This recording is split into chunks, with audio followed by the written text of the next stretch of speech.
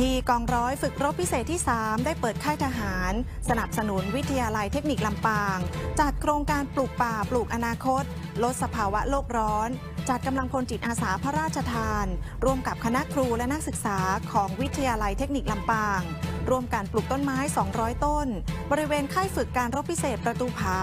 อำเภอแม่เมาะจังหวัดลำปาง รวมทั้งร่วมการสร้างฝายชะลอน้ำอันเป็นการช่วยบริหารจัดการน้ำจากธรรมชาติ ให้มีน้ำใช้ประโยชน์อย่างยั่งยืน เพิ่มพื้นที่สีเขียว ฟื้นฟูความอุดมสมบูรณ์ของผืนป่า